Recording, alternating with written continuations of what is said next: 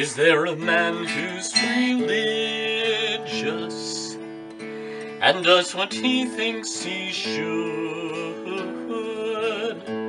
I tell you, unless his tongue's under control, his religion's no good.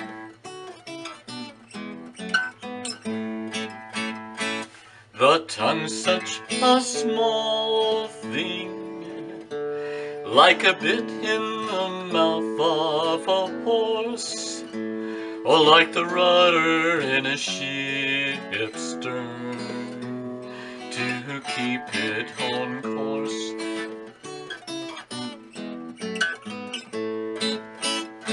But the tongue's more like the small spark that sets the whole forest aflame. Unlike the wild birds and animals, the tongue's never been tamed.